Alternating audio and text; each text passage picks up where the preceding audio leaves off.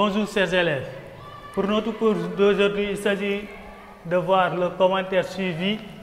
Et quand je dis le commentaire suivi, c'est de revoir la méthodologie. Le commentaire est un exercice littéraire, tout comme la dissertation et le résumé des tests. Et il y a aussi une méthodologie à suivre par rapport à cet exercice. Alors, le commentaire suivi, la première chose qu'il faut noter, c'est qu'il il concerne un test.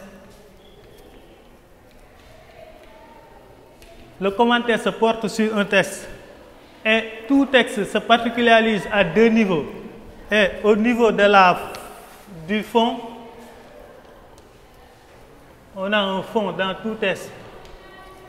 Mais aussi au niveau de la forme. Au niveau de la forme. C'est quoi le fond d'un texte? C'est-à-dire l'expression, les idées qui sont développées dans le texte. Les idées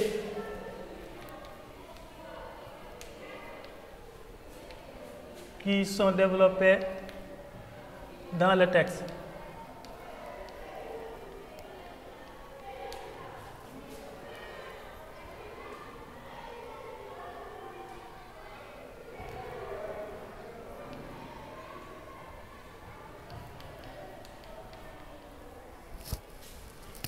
Mais aussi, il y a une forme dans tout texte.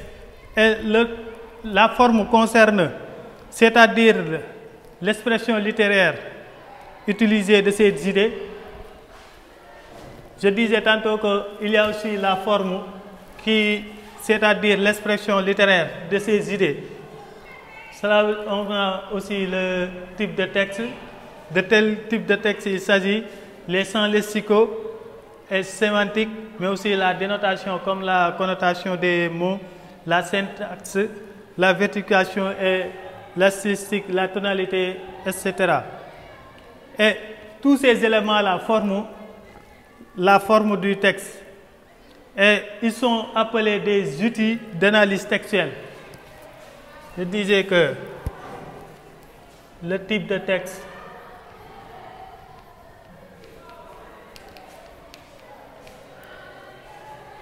les sons lexicaux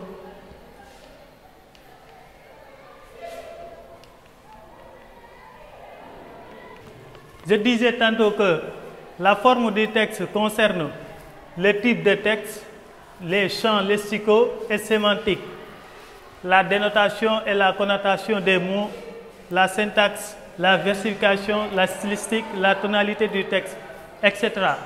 Et tous ces éléments-là sont appelés des outils d'analyse textuelle.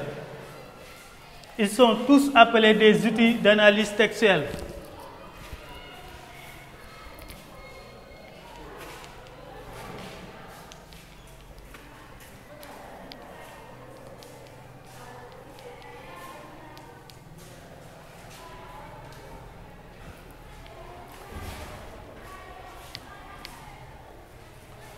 Commenter un texte, c'est avant tout de reconnaître ces types d'outils.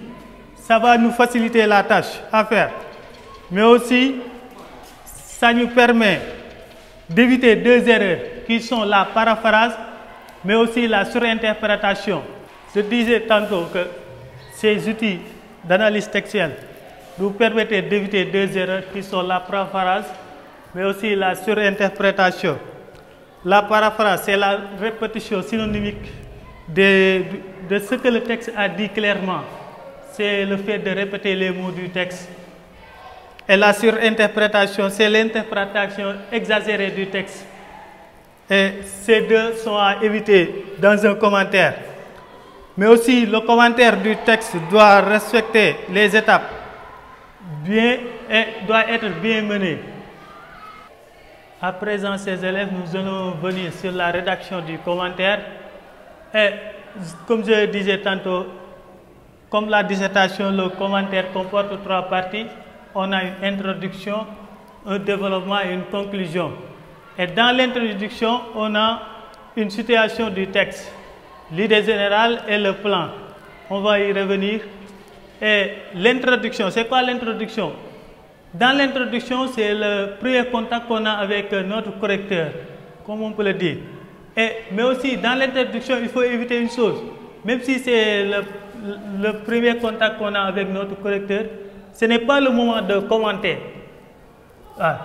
Mais dans l'introduction, il faut amener la situation du texte et c'est pour contextualiser le texte, c'est-à-dire de le rattacher dans un cadre spatio-temporel ou bien dans le cadre qui le présente.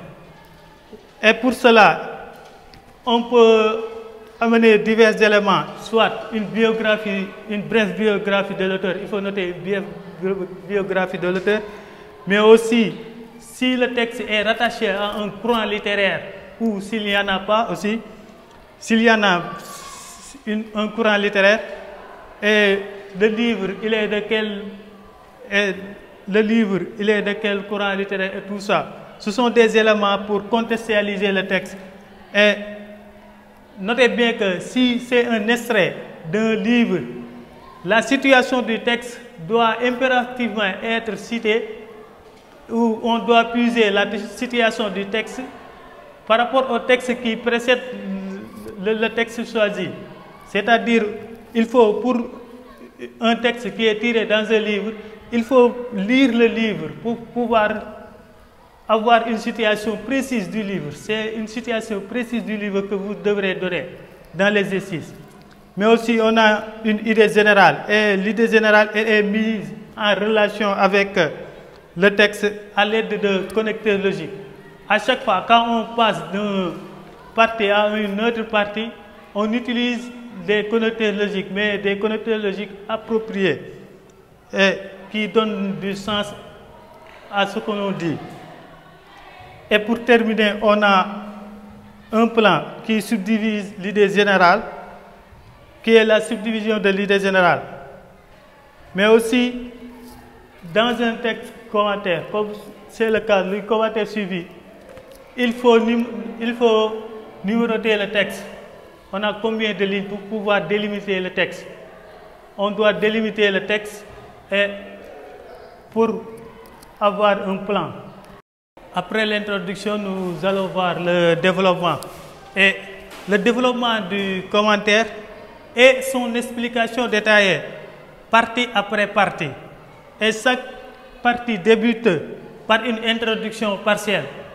À chaque fois qu'on doit présenter une partie, cela doit débuter impérativement par une introduction partielle. Mais il n'y a pas de titre, parce qu'on est dans un commentaire suivi. Mais si, on était dans un commentaire composé, il y aurait sûrement un sujet, un, titre, d'autant plus souvent. Mais aussi, le commentaire suivi doit coller avec la progression des idées de l'auteur. On est obligé de coller à la progression du texte, à l'inverse du commentaire composé aussi. Mais il y a aussi des zones d'ombre qui restent implicites, ou bien l'explication n'est pas encore claire. Et ces zones d'ombre-là, on, on, on doit faire en sorte de l'expliquer à notre manière comment on, nous le comprenons. Et sur ce, Bertrand Eco nous dit qu'un texte est un mécanisme paresseux qui veut que quelqu'un l'aide à fonctionner. Parce qu'il y a des nous dit que c'est l'élève qui doit faire fonctionner le texte et lui faire dire ce qu'il doit dire, en quelque sorte. Mais aussi, dans, dans, dans, dans, dans le développement, le commentaire met en jeu les capacités du lecteur, de l'élève, les capacités, les capacités de l'élève dans ses lectures. Parce qu'on doit se poser beaucoup de questions et en analysant le texte, on doit avoir des connaissances linguistiques. Mais on doit introduire aussi le texte et se poser quelques questions. Quelle est la portée de ce passage? Qu'apporte-t-il au lecteur? Sur quoi attire-t-il notre attention? En quoi touche-t-il sa sensibilité? Que lui révèle-t-il sur le plan humain? D'autant de questions qu'on doit poser au texte pour pouvoir sortir les implicites. Mais aussi, dans tous les cas, il faudra garder l'esprit que le commentaire de tous ces éléments est d'abord une intégration de la forme du texte, mais aussi pour commentaire, le commentaire est une navette entre le fond et la forme. C'est comme ça que l'élève doit procéder. Voilà. Et après cela, je disais tantôt que le commentaire du texte est une perpétuelle navette entre la forme du texte et son fond. Et les idées qui sont développées dans le texte trouvent leurs reflet dans la forme du texte. Et il faut aussi noter que le commentaire analyse donc cette forme de texte en utilisant des outils d'analyse appropriés pour éviter la paraphrase. Et dans le développement, on doit utiliser les récits de l'analyse littéraire. Souligner, signaler, relater, exprimer, évoquer, dévoiler, mettre en relief, mettre en exergue mettre en évidence, mettre l'accent sur, en attester, en témoigner, symboliser, allégoriser. Ce sont des mots qui, qui nous permettent d'éviter la paraphrase.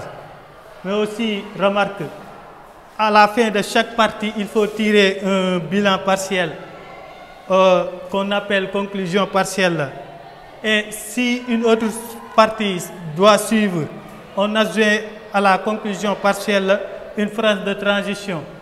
Donc, on doit faire une conclusion partielle à la fin de chaque partie, une conclusion partielle. Et si on a encore une autre partie, on doit, en plus de la conclusion partielle, on doit faire une transition.